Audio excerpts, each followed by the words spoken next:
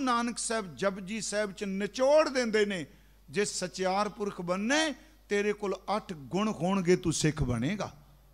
ਤਾਂ ਤੂੰ ਖਾਲਸਾ ਬਣੇਗਾ, ਤਾਂ ਤੂੰ ਗੁਰਸਿੱਖ ਬਣੇਗਾ। ਗੁਰਮਖੋ, ਇਸ ਪੌੜੀ ਨੂੰ ਅਸੀਂ ਰੋਜ਼ ਪੜ੍ਹਦੇ ਹਾਂ। ਪੰਜਾਂ ਖੰਡਾਂ ਤੋਂ ਬਾਅਦ ਇਹ ਪੌੜੀ ਹੈ ਸ਼ਬਦ ਸੱਚੀ ਟਕਸਾਲ, ਕਿਉਂਕਿ ਆਪ ਨੂੰ ਪਤਾ ਸਿੱਕੇ ਟਕਸਾਲ 'ਚ ਝਾੜੇ ਜਾਂਦੇ ਨੇ ਨਾ, ਢਾਲੇ ਜਾਂਦੇ ਨੇ। ਪਹਿਲਾਂ ਢਾਲਦੇ ਨੇ, ਫਿਰ ਉੱਤੇ ਸਟੈਂਪ ਲੱਗਦੀ ਹੈ ਹਕੂਮਤ ਦੀ। ਉਹ ਜਿੱਥੇ ਵੀ ਚੱਲੇਗਾ, ਫਿਰ ਦੇਸ਼ ਲੈ ਜਾਓ ਪ੍ਰਦੇਸ਼ ਲੈ ਜਾਓ ਉਹ ਸਿੱਕਾ ਚੱਲਦਾ ਪਿਆ ਨਾ। ਇਸ ਮੁਲਕ ਵਿੱਚ ਜਿਹੜਾ ਅਸਲੀ ਸਿੱਕਾ ਹੈ ਜਿਹੜਾ ਢਲਿਆ ਸਾਧਨਾ ਕੀਤੀ ਜਿੱਥੇ ਲਿਜਾਓਗੇ ਚੱਲੇਗਾ। ਮਹਾਰਾਜ ਕਹਿੰਦੇ ਜਦੋਂ ਤੇਰਾ ਅੰਦਰ ਢਲ ਗਿਆ ਫਿਰ ਤੇਰੇ ਤੇ ਇੱਕ ਸਟੈਂਪ ਲੱਗੇਗੀ ਨਦਰ ਦੀ। ਕਿਉਂਕਿ ਸਿੱਕਾ ਨਦਰ ਤੋਂ ਬਿਨਾ ਨਹੀਂ ਢਲਦਾ। ਇੱਥੋਂ ਤੱਕ ਤਾਂ ਆਪਾਂ ਅਰਥ ਕੀਤੇ ਵੀ ਆ, ਇੰਦਰੀਆਂ ਦਾ ਧੀਰਜ ਦਾ ਗੱਲ ਮੁਕਾ ਦਿੱਤੀ ਅੱਗੇ। ਘੜੀਆਂ ਸ਼ਬਦ ਸੱਚੀ ਟਕਸਾਲ ਇਹ ਕਿੱਥੇ ਢਲਿਆ ਜਾਏ, ਕਿੱਥੇ ਢਲੇਗਾ ਜੀ? ਭਾਂਡਾ ਪਾਓ, ਅੰਮ੍ਰਿਤ ਢਾਲ ਘੜੀਆਂ ਸ਼ਬਦ ਸੱਚੀ ਟਕਸਾਲ, ਸਤ ਸੰਗਤ ਟਕਸਾਲ ਵਿੱਚ।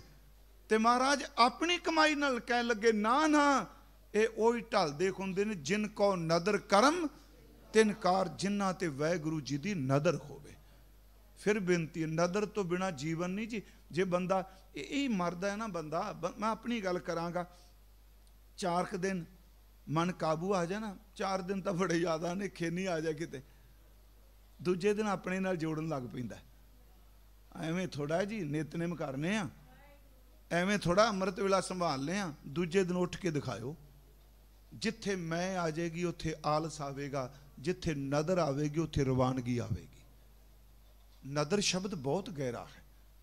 ਗੁਰੂ ਸਾਹਿਬ ਕਹਿ ਰਹੇ ਆ, ਇਹ ਜੀਵਨ ਤਾਂ ਢਲੇਗਾ ਜਿਨ ਕੋ ਨਦਰ ਕਰਮ ਜਿਨ੍ਹਾਂ ਉਪਰ ਨਦਰੇ ਕਰਮ ਸ਼ਬਦ ਤਾਂ ਪਰਸ਼ੀਅਨ ਦਾ ਨਜ਼ਰ ਹੈ ਨਾ, ਗੁਰੂ ਸਾਹਿਬ ਨੇ ਚਲੋ ਤਤ ਸਮ ਤਤ ਭਵ ਸ਼ਬਦ ਬੜੀ ਚ ਬਹੁਤ ਆਏ ਆ। ਹੁਣ ਨਦਰੇ ਕਰਮ ਬਖਸ਼ਿਸ਼ ਭਰੀ ਨਦਰ, ਯਾਦ ਰੱਖੋ ਇੱਕ ਨਦਰ ਹੋਰ ਵੀ ਏ। ਨਦਰ ਪੱਠੀ ਜੇ ਕਰੈ ਸੁਲਤਾਨਾ ਘਾ ਕਾਹੋ ਦਾ ਅਰਥ ਜੇ ਚੋਖਾ ਬੋਲਾਂਗੇ ਤੇ ਜ਼ਖਮ ਬਣ ਜਾਏਗਾ। ਘਾ ਘਾ ਆ ਜਿਹੜਾ ਘਾ ਖੋਦਦੇ ਆ। ਇੱਥੇ ਜਿਨ ਕੋ ਨਦਰ ਕਰਮ ਤਿਨਕਾਰ ਜਿਨ੍ਹਾਂ ਤੇ ਨਦਰ ਹੋ ਜਾਏ, ਸੱਚੀ ਮੁੱਚੀ ਉਹ ਹੀ ਇਹ ਕੰਮ ਕਰਦੇ ਆ। ਇਹਦਾ ਮਤਲਬ ਜੀਵਨ ਕਮਾ ਕੇ ਵੀ ਵਿਖਾਵਾ ਨਹੀਂ ਕਰਨਾ, ਅਰਦਾਸ ਕਰਨੀ ਹੈ, ਤੇਰੀ ਕਿਰਪਾ ਤੋਂ ਬਿਨਾ ਮੈਂ ਜੀਵਨ ਨਹੀਂ ਕਮਾ ਸਕਦਾ। ਇਸੇ ਕਰਕੇ ਭਾਈ ਸਾਹਿਬ ਜੀ ਨੇ ਲਿਖਿਆ, ਪਹਿਲਾਂ ਬਾਬੇ ਪਾਇਆ, ਬਖਸ਼ਦਾਰ। ਨਦਰ ਪਾਈ। ਮੈਂ ਤਾਂ ਕਈ ਵਾਰੀ ਕਹਿਣਾ ਜੇ ਹੁਣ ਗੁਰਦੁਆਰੇ ਵੀ ਆਏ ਆ ਨਾ, ਇਹਨੂੰ ਨਦਰ ਨਾਲ ਜੋੜ ਕੇ ਦੇਖੀਏ। ਕੋਈ ਸ਼ਬਦ, ਇੱਥੋਂ ਤੱਕ ਦੁਨਿਆਵੀ ਹਰ ਚੀਜ਼ ਨੂੰ ਨਦਰ ਨਾਲ ਦੌੜੀਏ, ਆਪਣਾ ਦਾਵਾ ਛੱਡ ਦਈਏ ਗੁਰਮਖੋ। ਇੱਕ ਉਦਾਹਰਨ ਮੈਂ ਹੋਰ ਦੇਣਾ ਮਹਾਰਾਜ ਪਾਕ ਪਟਨ ਗਏ, ਬਾਬਾ ਫਰੀਦ ਸਾਹਿਬ ਦੇ ਅਸਥਾਨ ਤੇ ਜੀ। ਉੱਥੇ ਅੰਮ੍ਰਿਤ ਵੇਲੇ ਮਹਾਰਾਜ ਬਾਹਰ ਬੈਠੇ ਸਨ ਤੇ ਬਾਬਾ ਫਰੀਦ ਸਾਹਿਬ ਦੇ ਅਸਥਾਨ ਦੇ ਜਿਹੜੇ ਮੁਰੀਦ ਸਨ, ਉਹ ਉੱਠਿਆ। ਐਸ ਵਕਤੇ ਜੀ ਉਹ ਗਾ ਰਿਹਾ ਸੀ, ਰਾਤ ਕਥੂਰੀ ਵੰਡੀਐ, ਸੁੱਤਿਆਂ ਮਿਲੈ ਨਾ ਪਾਓ ਕਥੂਰੀ ਦਾ ਸਮਝਿਆ ਕਸਤੂਰੀ। ਇੱਥੇ ਰਾਤ ਨੂੰ ਕਸਤੂਰੀ ਵੰਡੀ ਜਾਂਦੀ ਹੈ, ਗੁਰੂ ਗ੍ਰੰਥ ਸਾਹਿਬ ਸ਼ਲੋਕ ਹੈ ਬਾਬਾ ਜੀ ਦਾ। ਭਾਉ ਦਰ ਤੇ ਇੱਥੇ ਪ੍ਰੇਮ ਨਹੀਂ, ਇੱਥੇ ਭਾਉ ਦਰ ਤੇ ਹਿੱਸਾ। ਕਿਉਂਕਿ ਗੁਰਬਾਣੀ, ਮੈਂ ਰਾਤ ਕਿਹਾ 15 ਲੈਂਗੁਏਜ ਨੇ 15 ਭਾਸ਼ਾਵਾਂ ਨੇ ਗੁਰਬਾਣੀ ਦੀਆਂ। ਪਰ ਲਿਪੀ ਗੁਰਮੁਖੀ, ਮੈਂ ਪਿਛਲੀ ਵਾਰੀ ਵੀ ਆਇਆ, ਉੱਥੇ ਮੈਂ ਕਿਹਾ ਸੀ ਚਲੋ ਮੈਂ ਵੀ ਹਰਿਆਣੇ ਚ ਪੜਿਆ ਵਾ, ਮੇਰਾ ਜਨਮ ਵੀ ਹਰਿਆਣੇ ਦਾ ਹੈ, ਕਰਨਾਲ ਮੈਂ ਪੜਿਆ ਸੱਤਵੀਂ ਚ ਲੱਗਦੀ ਹੁੰਦੀ ਸੀ ਪੰਜਾਬੀ ਜੀ, ਪਤਾ ਨਹੀਂ ਹੁਣ ਤੇ ਮੈਨੂੰ ਪਤਾ ਨਹੀਂ। ਹਾਂਜੀ, ਇਸ ਤਰ੍ਹਾਂ ਹੀ ਸੀ ਨਾ। ਹੱਥ ਜੋੜ ਕੇ ਬੇਨਤੀ, ਜੇ ਗੁਰਮੁਖੀ ਪੜੋ ਮੈਂ ਪੰਜਾਬੀ ਨਹੀਂ ਕਹਿ ਰਿਹਾ, ਗੁਰਮੁਖੀ ਸਿੱਖਾਂਗੇ ਤਾਂ ਗੁਰੂ ਗ੍ਰੰਥ ਸਾਹਿਬ ਦਾ ਸ਼ੁੱਧ ਪਾਠ ਹੋਣਾ ਹੈ। ਕਿਉਂਕਿ ਗੁਰਬਾਣੀ ਦੀ ਆਪਣੀ ਗ੍ਰਾਮਰ ਹੈ। ਗੁਰਮੁਖੀ ਲਿਪੀ ਤੋਂ ਬਿਨਾ ਸਵਾਦ ਕੋਈ ਨਹੀਂ ਆਉਂਦਾ। ਹੁਣ ਉੱਥੇ ਫਿਰ ਮੇਰੀ ਬੇਨਤੀ ਹੈ ਮਹਾਰਾਜ ਜਦੋਂ ਗਏ ਤੇ ਉਹ ਬੋਲ ਰਹੇ ਸਨ, ਰਾਤ ਕਥੂਰੀ ਵੰਡੀ ਹੈ ਰਾਤ ਨੂੰ ਕਸਤੂਰੀ ਵੰਡੀ ਜਾਂਦੀ ਹੈ ਰੁਖਾਨੀਅਤ ਦੀ। ਸੁੱਤਿਆਂ ਮਿਲੇ ਨਾ ਭਾਓ, ਜਿਹੜੇ ਸੁੱਤੇ ਰਹਿ ਗਏ ਉਹਨਾਂ ਨੂੰ ਹਿੱਸਾ ਨਹੀਂ ਮਿਲਣਾ। ਰਾਤ ਨੂੰ ਹੈ ਨਾ ਵੰਡੀ ਜਾ ਰਹੀ। ਇਹਦਾ ਮਤਲਬ ਸੀ ਉੱਠ ਕੇ ਲੋਕੋ, ਇਬਾਦਤ ਕਰੋ ਅੰਮ੍ਰਿਤ ਵੇਲੇ। ਇਹ ਬਖਸ਼ਿਸ਼ ਪ੍ਰਸਾਦ ਮਿਲਣ ਦਾ ਵੇਲਾ ਹੈ। ਜਿਹੜੇ ਜਾਗਦੇ ਹੋਣਗੇ, ਮਿਲੇਗਾ। ਉਹਨਾਂ ਨੂੰ ਜਿਹੜੇ ਸੁੱਤੇ ਰਹਿ ਗਏ, ਉਹਨਾਂ ਦੀ ਬੁੱਕ 'ਚ ਪ੍ਰਸਾਦ ਕਿੱਥੇ ਪੈਣਾ? ਆਪਾਂ ਇਸ ਤੁਕ ਤੇ ਆ ਗਏ ਜਿਨ ਕੋ ਨਦਰ ਕਰਮ, ਉਂਝ ਵੈਸੇ ਮੈਂ ਬੇਨਤੀ ਕਰਾਂ ਜੇ ਟਾਈਮ ਨਹੀਂ ਮੇਰੇ ਕੋਲ ਹੁੰਦਾ, ਕੱਲੀ ਨਿੱਠ ਕੇ ਕਥਾ ਕਰੋ, ਇੱਕ ਮਹੀਨਾ ਸਿਰਫ ਪੌੜੀ ਲਈ ਚਾਹੀਦਾ ਪੂਰੀ ਹਿਸਟਰੀ ਵਿੱਚ ਆ ਜਾਣੀ ਇਹਦੇ। ਕਿਵੇਂ ਸਿੱਖ ਜਤੀ ਸਨ, ਕਿਵੇਂ ਧੀਰਜ ਵਾਲੇ ਸਨ। ਗੁਰਮੁਖੋ, ਏਡੀ ਵੱਡੀ ਐਰਨ ਮਤ ਕਿ ਸਾਰਾ ਮਾਈ ਦਾ ਛਾਤੀ ਤੋਂ ਕੱਪੜਾ ਖੂਨ ਨਾਲ ਭਿੱਜਿਆ ਹੈ। ਪੁੱਤਰ ਦਾ ਟੁਕੜਿਆਂ ਦਾ ਹਾਰ ਪਾਇਆ ਤੇ ਫਿਰ ਵੀ ਕਹਿੰਦੀ ਪਈ ਹੈ ਤੇਰੇ ਭਾਣੇ 'ਚ ਚਾਰ ਪੈਰ ਦਿਨ ਸੁੱਖ ਦਾ ਬਤੀਤ ਹੋਇਆ, ਰਾਤ ਵੀ ਸੁੱਖ ਦੀ ਬਤੀਤ ਹੋਵੇ। ਇਹ ਐਰਨ ਮਤ ਹੈ। ਹਜ਼ੂਰ ਨੇ ਕਿਹਾ, ਸੁੱਤਿਆਂ ਨੂੰ ਨਹੀਂ ਮਿਲ ਰਿਹਾ। ਉਹ ਬਾਬਾ ਜੀ ਦਾ ਸ਼ਲੋਕ ਪੜ ਰਿਹਾ, ਉੱਥੋਂ ਦਾ ਮੁਰੀਦ, ਰਾਤ ਕਥੂਰੀ ਵੰਡੀ ਹੈ ਸੁੱਤਿਆਂ ਮਿਲੇ ਨਾ ਪਾਓ ਜਿਨ੍ਹਾਂ ਨੈਣ ਨਿੰਦਰਾਵਲੇ, ਤਿੰਨਾ ਮਿਲਨ ਕੁਆਹੋ ਕੀ ਮਿਲੇਗਾ? ਅਗਲਾ ਫਿਰ ਨਾਲ ਸ਼ਲੋਕ ਉਹਨਾਂ ਪੜਿਆ ਪਹਿਲਾ ਪੈਰ ਹੈ ਫੁੱਲੜਾ, ਪਹਿਲਾ ਪੈਰ ਇਬਾਦਤ ਦਾ ਫੁੱਲ ਹੈ, ਫਲ ਪੀ ਪੱਛਾ ਰਾਤ, ਪਿਛਲ ਪੈਰ ਅੰਮ੍ਰਿਤ ਵੇਲੇ ਬੰਦਗੀ ਕਰੋ, ਫਲ ਮਿਲਦਾ ਹੈ, ਜੋ ਜਗਨ ਲਹਨ ਸੇ ਸਾਈ ਕੰਨੋ ਦਾਤ, ਜੋ ਜਾਗਦੇ ਨੇ ਦਾਤ ਉਹਨਾਂ ਨੂੰ ਮਿਲੇਗੀ। ਹਜ਼ੂਰ ਨੇ ਦੋ ਸ਼ਲੋਕ ਸੁਣੇ ਤੇ ਕਹਿਣ ਲੱਗੇ, ਵੇ ਮਰਦਾਨਿਆ ਆ ਵੇ ਕੀ ਬੋਲਦਾ ਪਿਆ ਕਿੰਨਾ ਸੋਹਣਾ ਪੜ ਰਿਹਾ ਉਸ ਦਰਵੇਸ਼ ਦਾ ਕਲਾਮ ਗਾ ਰਿਹਾ ਅਗਲੀ ਫਿਰ ਹੱਸ ਕੇ ਕਹਿਣ ਲੱਗੇ, ਜੇ ਦਾਤ ਜਾਗਣ ਨਾਲ ਮਿਲਦੀ ਤੇ ਸਾਰੇ ਲੈ ਜਾਂਦੇ। ਸੁਣਿਓ ਧਿਆਨ ਨਾਲ, ਨਦਰ।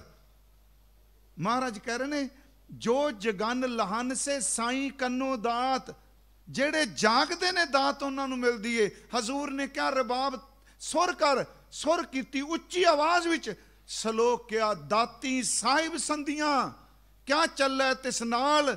ਇੱਕ ਜਗਨ ਦੇ ਨਾਂ ਲੈਣ, ਇੱਕ ਸੁੱਤਿਆਂ ਦੇ ਉਠਾਲ, ਜਿਨ ਕੋ ਨਦਰ ਕਰਮ ਤਿਨਕਾਰ ਨਦਰ ਜਿਹੜੀ ਉਹ ਗੁਣ ਥੋੜਾ ਵੇਖਦੀ ਭਾਵੇਂ ਮੈਂ ਆਪ ਨੂੰ ਕਹਿ ਦਿੱਤਾ ਵੀ ਜਪਜੀ ਸਾਹਿਬ ਕਰੋ, ਇਹ ਤਾਂ ਨਦਰ ਕੋਈ ਗੁਣ ਔਗਣ ਨਹੀਂ ਦੇਖਦੀ ਗੁਰਮਖੋ। ਮੈਂ ਤਾਂ ਕਿਹਾ ਕੋਈ ਪਤਾ ਨਹੀਂ ਕਿਸ ਘੜੀ, ਕਿਸ ਬੰਦੇ ਤੇ ਨਦਰੇ ਅਨਾਇਤ ਹੋਣੀ ਹੈ ਤੇ ਸਾਰੇ ਪਾਪ ਉਹਦੇ ਸੜ ਜਾਣੇ ਨੇ। ਪਰ ਨਦਰ ਵਾਸਤੇ ਕੁਦਮ ਹੈ, ਹੁਕਮ ਮੰਨਣਾ ਸ਼ੁਰੂ ਕਰੀਏ। ਜਿਹੜਾ ਬੱਚਾ ਮਾਪਿਆਂ ਦੇ ਹੁਕਮ ਦੇ ਵਿੱਚ ਜ਼ਿੰਦਗੀ ਬਤੀਤ ਕਰੇ, ਖੂਨ ਤਾਂ ਸਾਰੇ ਹੀ ਉਹਦਾ ਨੇ ਨਾ, ਮਾਪਿਆਂ ਦਾ। ਪਰ ਜਿਹੜਾ ਹੁਕਮ ਮੰਨਦਾ ਹੈ, ਅੰਦਰੋਂ ਅਸੀਂ ਸਾਰੇ ਬੈਠੇ ਆ ਜਿਹੜਾ ਬੱਚਾ ਸਾਡਾ ਹੁਕਮ ਮੰਨਦਾ ਹੈ, ਬੋਲੋ ਭਾਵੇਂ ਨਾ ਡਰਦੇ ਮਾਰੇ, ਕੀ ਨੇ ਸਾਰੇ ਇੱਕੋ ਜਿਹੇ ਅੰਦਰੋਂ ਮਨ ਲਗਾਵ ਉਹਦੇ ਨਾਲ ਰੱਖਦਾ ਨਹੀਂ ਆ ਮੇਰਾ ਪੁੱਚਾ ਸਰਵਨ ਹੈ ਇਹ ਮੇਰੀ ਧੀ ਆਗਿਆਕਾਰ ਹੈ ਜਿਹੜਾ ਹੁਕਮ ਮੰਨਦਾ ਹੈ, ਪਿਓ ਦਾ ਅੰਦਰ ਉਹਦੇ ਤੇ ਨਜ਼ਰ ਰੱਖਦਾ ਜਿਹੜਾ ਗੁਰੂ ਦੇ ਹੁਕਮ ਵੀ ਚੱਲਦਾ ਨਜ਼ਰ ਵੀ ਉਹਦੇ ਤੇ ਹੁੰਦੀ ਦੁੱਖ ਹੋਵੇ, ਸੁੱਖ ਹੋਵੇ। ਮੇਰੀ ਫਿਰ ਅਰਜ਼ ਹੈ, ਨਦਰ ਹੀ ਮੰਗੀਏ ਜੀ। ਹੈ, ਨਦਰ ਤੋਂ ਇਕਬਾਲ ਕਹਿੰਦਾ, ਖਿਰਦ ਕੇ ਪਾਸ, ਖਿਰਦ ਕੇ ਪਾਸ, ਖਬਰ ਕੇ ਸਿਵਾ ਕੁਝ ਔਰ ਨਹੀਂ। ਇਹਦਾ ਅਰਥ ਹੈ, ਬੋਲਣ ਵਾਲੇ ਗਿਆਨੀਆਂ, ਤੇਰੇ ਕੋਲ ਸੂਚਨਾ ਤੋਂ ਬਿਨਾ ਹੋਰ ਕੁਝ ਨਹੀਂ। ਸਾਨੂੰ ਕਹਿ ਰਿਹਾ, ਤੇਰੇ ਕੋਲ ਨੌਲੇਜ ਤੋਂ ਬਿਨਾ ਕਿ? ਖਿਰਦ ਕੇ ਪਾਸ, ਖਬਰ ਕੇ ਸਿਵਾ ਕੁਝ ਔਰ ਨਹੀਂ। ਤੇਰਾ ਇਲਾਜ ਨਜ਼ਰ ਕੇ ਸਿਵਾ ਕੁਝ ਔਰ ਨਹੀਂ। ਜੇ ਸੰਕਾਰ ਚ ਤੂੰ ਚਲਾ ਗਿਆ, ਤੂੰ ਨਰਦ ਤੋਂ ਬਿਨਾ ਨਹੀਂ ਤਰ ਸਕਦਾ। ਗੁਰੂ ਜੀ ਇੰਨੇ ਗੁਣ ਕਹਿ ਕੇ, ਇਹ ਤਾਂ ਸਿੱਖੀ ਹੈ। ਕੋਈ ਦਾਵਾ ਕੀਤਾ? ਹੁਣ ਇੰਨਾ ਜਤ ਰੱਖਣਾ, ਇਹ ਹੀ ਕਾਰਨ ਕਿ ਵਲੀ ਕੰਧਾਰੀ ਵਰਗਾ ਹੰਕਾਰ ਦਾ ਮਾਰਿਆ। ਇਹ ਛੋਟੀ ਗੱਲ ਨਹੀਂ, ਪਾਣੀ ਕੰਟਰੋਲ ਕਰੀ ਬੈਠਾ, ਤਤ ਕੰਟਰੋਲ ਕਰੀ ਬੈਠਾ ਪਰ ਹੰਕਾਰ ਦੀ ਟੀਸੀ ਤੇ ਕਹਿੰਦਾ ਜੇ ਤੇਰੇ ਮੁਰਸ਼ਿਦ ਕੋਲ ਕੁਝ ਖੈ ਤੈਨੂੰ ਪਾਣੀ ਪਿਲਾ ਦੇ। ਯਾਦ ਰੱਖਿਓ ਉੱਚੀਆਂ ਚੜਿਆਂ ਹੋਇਆਂ ਦੇ ਹੀ ਸੋਮੇ ਪਹਾੜੀਆਂ ਜਾਂ ਕਹਿ ਲੋ ਤਲਾਕ ਖਾਲੀ ਹੁੰਦੇ ਨੇ, ਥਾਲੇ ਵਾਲਿਆਂ ਦੇ ਕਦੀ ਨਹੀਂ ਹੁੰਦੇ। ਹੰਕਾਰ ਦੀ ਟੀਸੀ ਸੀ। ਗੁਰੂ ਜੀ ਕਹਿੰਦੇ ਨੇ, ਨਦਰ, ਜਦੋਂ ਨਦਰ ਵਰਦੀ ਨਾ, ਉਦੋਂ ਇਹ ਥੋੜਾ ਵੇਖਿਆ ਜਾਂਦਾ, ਰਾਤ दारू ਪੀ ਕੇ ਆਇਆ। ਗੁਰਮੁਖ ਜਦੋਂ ਨਦਰ ਹੋ ਜਾਏ ਨਾ, ਸਵੇਰੇ ਪਲਟਾ ਆ ਜਾਂਦਾ, ਅੱਗੇ, ਅਗਲੇ ਦਿਨ ਬੰਦਾ ਬ੍ਰਹਮ ਗਿਆਨੀ ਵੀ ਹੋ ਸਕਦਾ। ਮੈਂ ਇਹ ਨਹੀਂ ਕਿ ਕਹਿ ਰਿਹਾ, ਸੱਜਣ ਨੂੰ ਪਤਾ ਸੀ, ਉਹ ਮਿਲਿਆ ਬਾਬਾ ਜੀ ਨੂੰ ਗੱਲਾਂ ਬਾਤਾਂ ਕੀਤੀਆਂ, ਉਹ ਬੜਾ ਉਹਨੇ ਸ਼ੋਸ਼ਬਟਾ ਕੀਤਾ, ਅਸੀਂ ਤਾਂ ਪ੍ਰਭੂ ਦੇ ਭਗਤ ਆ ਅਸੀਂ ਤਾਂ ਮੁਸਲਮਾਨਾਂ ਨੂੰ ਵੀ ਪਿਆਰ ਕਰਨੇ ਆ ਅਸੀਂ ਆ ਸਰਾਂ ਬਣਾਈ। ਬਾਬਾ ਜੀ ਨੂੰ ਪਤਾ ਸੀ ਅੰਦਰੋਂ ਕੀ ਹੈ। ਜਦੋਂ ਕਿਹਾ ਨਾ, ਬੱਗਾ ਬੱਗੇ ਕੱਪੜੇ ਤੀਰਥ ਮੰਜ ਵਸਨ ਘੁੱਟ ਘੁੱਟ ਜੀਆਂ ਖਾਵਨੇ ਬੱਗੇ ਨਾ ਕਹਨ ਉਹ ਥੋੜਾ ਇਸ ਕਰਕੇ ਬੈਠਾ ਸੀ, ਸਵੇਰੇ ਸਰਾਂ ਧਰਮਸ਼ਾਲਾ ਬਣ ਜਾਣੀ। ਉਹਨੇ ਕਿਹਾ, ਜੋ ਵਪਾਰੀ ਚੰਗਾ ਤਕੜਾ ਆਇਆ, ਚਿਹਰਾ ਦਗਦਾ ਕਰਦਾ, ਹੀਰੇ ਹੋਣੇ ਨੇ।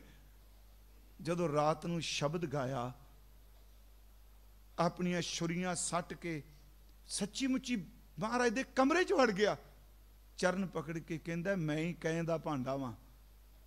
ਹਜ਼ੂਰ ਨੇ ਨਦਰ ਕੀਤੀ, ਸਵੇਰ ਤੱਕ ਸੰਤ ਸੱਜਣ ਬਣਾ ਕੇ ਰੱਖ ਦਿੱਤਾ। ਨਦਰ, ਮੇਰੀ ਫਿਰ ਬੇਨਤੀ ਹੈ, ਗੁਰੂ ਨਾਨਕ ਸਾਹਿਬ ਦੇ ਘਰ ਨਦਰ ਮੰਗੀਏ। ਕਿਉਂਕਿ ਨਦਰ ਗੁਣ ਉਗਣ ਨਹੀਂ ਦੇਖਦੀ। ਕਿਰਪਾ ਕਰੋ ਦੀਨ ਕੇ ਦਾਤੇ। ਇਹ ਥੋੜਾ ਕਿਹਾ ਵੀ ਮੇਰੇ ਗੁਣ ਵੇਖ ਕੇ ਕਿਰਪਾ ਕਰੋ। ਕਹਿੰਦੇ ਮੇਰਾ ਗੁਣ ਅਵਗਣ, ਇੱਥੇ ਅਵਗਣ ਨਹੀਂ ਹੈਗਾ। ਗੁਣ ਅਵਗਣ ਨਾ ਵਿਚਾਰੋ ਕੋਈ, ਮਾਟੀ ਕਾ ਕਿਆ ਧੋਪੈ ਸੁਆਮੀ ਮਾਨਸ ਕੀ ਗਾਤੇ ਹੀ। ਗੁਰੂ ਜੀ ਕਹਿੰਦੇ ਇਹ ਗੁਣ ਜਿਨ ਕੋ ਨਦਰ ਕਰਮ, ਸ਼ਾਹ ਹੁਸੈਨ ਕਹਿੰਦਾ, ਕਹਿ ਸ਼ਾਹ ਹੁਸੈਨ ਫਕੀਰ ਸਾਈਂ ਦਾ, ਅਦਲੋਂ ਫਜ਼ਲ ਕਰੀ, ਮੇਰੇ ਲਈ ਅਦਲ ਨਾ ਕਰੀ, ਇਨਸਾਫ ਨਾ ਕਰੀ, ਇਨਸਾਫ ਵਿੱਚ ਮੈਂ ਫਸ ਜਾਣਾ, ਮੇਰੇ ਤੇ ਮਿਹਰ ਕਰੀ। ਜਿਹਨੂੰ ਕਹਿੰਦੇ ਲੇਖਾ ਕਤੈ ਨਾ, ਨਦਰ ਕਰ। ਲੇਖੇ ਨਾ ਕਰੀ, ਲੇਖਾ ਕਤੈ ਨਾ ਛੁਟਿਆ ਖਿਨ ਖਿਨ ਭੋਲਣ ਖਾਰ। ਬਖਸ਼ਣ ਹਾਰ ਬਖਸ਼ ਲੈ ਨਾਨਕ, ਪਾਰ ਉਤਾਰ ਜਿਨ ਕੋ ਨਦਰ ਕਰਮ ਤਿਨ। ਤਿੰਨ ਕਾਰ, ਕਿਹੜੀ ਕਾਰ? ਜਤ ਪਹਾਰਾ। ਫਿਰ ਇਹ ਪਿਛਾ ਜਾਣਾ ਪਏਗਾ, ਜਿਨ ਕੋ ਨਦਰ ਕਰਮ ਤਿਨ ਕਾਰ। ਗੁਰੂ ਜੀ, ਜਿਹਦੇ ਤੇ ਨਦਰ ਹੋ ਜਾਏ, ਕਹਿਣ ਲੱਗੇ, ਨਾਨਕ ਨਦਰੀ, ਨਦਰ ਨਿਹਾਲ। ਨਿਹਾਲ ਉਹ ਅਵਸਥਾ ਹੈ ਜਿੱਥੇ ਮਨ, ਤਨ, ਇੰਦਰੇ ਆਤਮਾ ਦੇ ਤੌਰ ਤੇ ਬੰਦਾ ਸੰਤੁਸ਼ਟ ਹੋ ਜਾਂਦਾ ਹੈ। ਗੁਰਮਖੋ, ਸਿੱਖ ਤਾਂ ਨਿਹਾਲ ਤੋਂ ਕਦੀ ਦੂਰ ਜਾਂਦਾ ਹੀ ਨਹੀਂ। ਸਾਡਾ ਤਾਂ ਜਕਾਰਾ ਵੀ ਨਿਹਾਲ ਹੈ। ਬੋਲੇ, ਹਾਂ, ਇਹ ਵੀ ਨਿਹਾਲ ਹੈ। ਪਰ ਨਿਹਾਲ ਹੋਵੇਗਾ ਜਿਹੜਾ ਸਤ ਸ੍ਰੀ ਅਕਾਲ ਬੋਲੇਗਾ ਤਾਂ। ਗੁਰੂ ਸਾਹਿਬ ਨੇ ਸਾਨੂੰ ਜੀਵਨ ਘੜਨ ਵਾਸਤੇ ਕਿਹਾ ਹੈ। ਮੈਂ ਇਸ ਕਰਕੇ ਕਿਹਾ, ਭਾਈ, ਪੁਰਬ ਮਨਾਇਆ ਤਾਂ ਫਾਇਦਾ। ਜੇ ਸਾਲ ਬਾਅਦ ਮੈਂ ਕਿ ਕਿਹਾ, ਢੋਲਕੀਆਂ ਸ਼ੈਨੇ ਚੰਗੀ ਗੱਲ ਹੈ ਜੀ। ਐ 네ਗੇਟਿਵ ਨਹੀਂ ਜਾਣਾ ਚਾਹੀਦਾ। ਜੇ ਸ- ਅੰਮ੍ਰਿਤ ਵੇਲੇ ਘੱਟੋ ਘੱਟ ਬੰਦਾ 10 15 ਦਿਨ ਤੇ ਉੱਠਦਾ ਹੀ ਹੈ ਨਾ। ਚਲੋ ਬਾਬਾ ਜੀ ਦਾ ਪ੍ਰਭਾਤ ਫੇਰੀਏ, ਪਰ ਅੱਜ ਤੋਂ ਬਾਅਦ ਜਿੰਨਾ ਕਦੀ ਜਪਜੀ ਸਾਹਿਬ ਨੇ ਕੀਤਾ, ਜਿਹੜੇ ਕਰਦੇ ਹੋ, ਸਹਿਜ ਪਾਠ ਕਰੀਏ ਆਪਾਂ। ਮੈਂ ਕਰੀਏ ਕਹਿ ਰਿਹਾ, ਮੈਂ ਵੀ ਵਿੱਚ ਸ਼ਾਮਲ ਹੋਵਾਂ। ਤੇ ਜਿਨ੍ਹਾਂ ਨੇ ਅੱਜ ਤੀਕਰਾਂ ਪਾਠ ਨਹੀਂ ਕੀਤਾ ਨਾ ਐਦ ਕੀ ਗੁਰੂ ਨਾਨਕ ਸਾਹਿਬ ਅੱਗੇ ਬੇਨਤੀ ਕਰੋ, ਸੱਚੇ ਪਾਤਸ਼ਾਹ ਐਸ ਪੁਰਬ ਤੋਂ ਬਾਅਦ ਮੈਂ ਅੰਤਲੇ ਸਵਾਸ ਤੱਕ ਤੀ ਜਪਜੀ ਸਾਹਿਬ ਦਾ ਨਾਗਾ ਨਹੀਂ ਪਾਵਾਂਗਾ। ਆਪ ਸਭ ਦਾ ਬਹੁਤ ਬਹੁਤ ਧੰਨਵਾਦ। ਮੈਂ ਸਾਡੇ ਸਕੱਤਰ ਸਾਹਿਬ ਕਹਿ ਰਹੇ ਸਨ ਵੀ ਟਾਈਮ ਖੁੱਲਾ